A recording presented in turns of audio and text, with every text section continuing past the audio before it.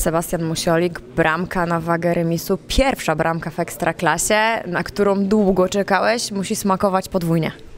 No na pewno smakuje podwójnie. A tak jak już wcześniej mówiłem, troszeczkę wstyd, że tyle musiałem na nią czekać, no ale w końcu się to stało i cieszę się bardzo. Można powiedzieć, że cierpliwość popłaca. No oczywiście, no tak jak mówisz, no cierpliwość popłaca. Wydaje mi się, że już w tych wcześniejszych meczach potwierdzałem, że, że mam dobrą dyspozycję, troszeczkę brakło tam szczęścia w kilku sytuacjach, no ale cieszymy się z tego, co jest teraz.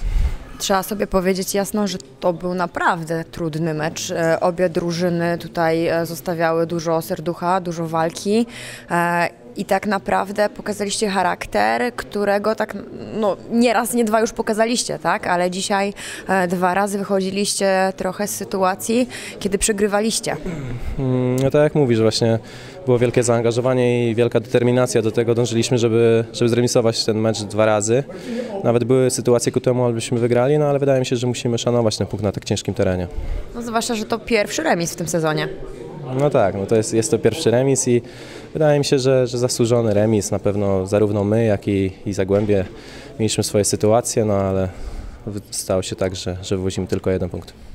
Czy zgodzisz się z taką e, nieśmiałą tezą, że o ile w każdym poprzednim spotkaniu mówiło się o tym, że Raków jest bezwzględny, albo zwycięża, albo przegrywa, e, tutaj mm, wspomniany wcześniej pierwszy remis, ale jednak czasami warto zdobyć ten punkt, e, a nie przegrać, a, a dzisiaj pokazaliście te, to doświadczenie. E, Już nie ma mowy o Beniaminku, o Frycowym, tylko właśnie widać było to doświadczenie. Mm, oczywiście też się z tym zgodzę, bo, bo na pewno inaczej, zupełnie inaczej byśmy rozmawiali, gdybyśmy ten mecz przegrali, tak? Dlatego szanujemy bardzo ten punkt i, i cieszę się bardzo, że, że moja bramka akurat dała ten jeden punkt. Ostatnie pytanie, przerwa na reprezentację z uśmiechami na twarzach.